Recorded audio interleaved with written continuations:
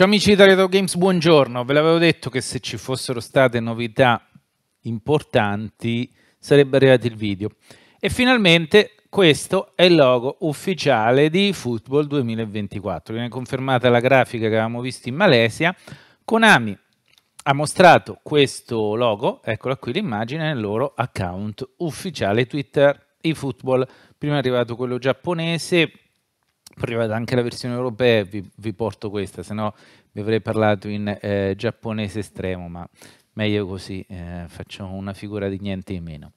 Eh, grazie a Bismarck lì per la segnalazione, anche se ero pronto già a fare il video in versione giapponese, ma andiamo con quella europea. Allora, annuncio, lanceremo i Football 2024 il 7 settembre 2023. Questo aggiornamento ruota attorno al tema libertà di controllo del gioco migliorata per la creazione di chance, per la creazione di azioni, in cui gli utenti possono aspettarsi di gioco ancora più avanzata. Quindi, al di là del fatto che non c'è più lo schema di gioco, al di là delle, delle questioni della manutenzione, il primo annuncio ufficiale di contenuto di Football 2024 è dedicato al gameplay libertà di controllo del gioco aumentata, migliorata per la creazione di azioni for chance, chance creation. Quindi, come dire, ci dice che ci saranno più possibilità di creare azioni. Quindi, dico io, deduco che sarà un gioco più offensivo sostanzialmente, detta così. Poi invece magari è comunque l'equilibrio fra attacco e difesa è lo stesso, ma avremo comunque più libertà di azione allora a quel punto, perché improved play control liberty for chance creation, eh, libertà di controllo del gioco improved, migliorata, eh, per la creazione di chance, ripeto, per la creazione di eh, possibilità, ma io intendo di possibilità di azioni.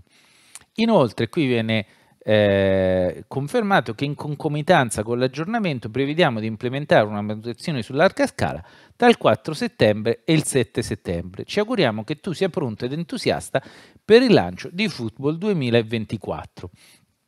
Quindi il gioco completo, completo e con i server accesi, eh, sarà solo dal 7 settembre. Però, come detto prima, dal 4 settembre in poi un po' di gameplay offline con le prove con le squadre mh, autentiche, salvo aggiornamenti dell'ultimo, magari eh, così, dovrebbe arrivare già da lunedì. Vedremo ragazzi, eh, lunedì mattina, lunedì 4 settembre, andremo a vedere un po' quello che succede, se il gioco è aggiornato alla versione 3.0.0, ve lo gioco subito, eh, provo, vi dico le mie primissime impressioni, ce le scambieremo con voi, insomma molto lentamente e proprio quasi a ridosso dell'uscita, però qualche cosina finalmente si muove, molto poco, insufficiente ovviamente rispetto a tutto quello che vorremmo sapere, la Master League, la il matchmaking della COP, l'editor, il crossplay, la grafica, però prima o poi c'era da partire e siamo partiti, almeno è qualcosa.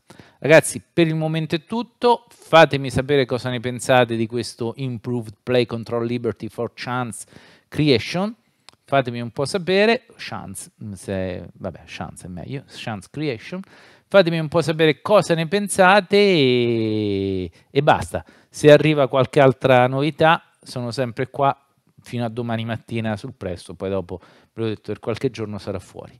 Grazie per l'attenzione e al prossimo video. Ciao!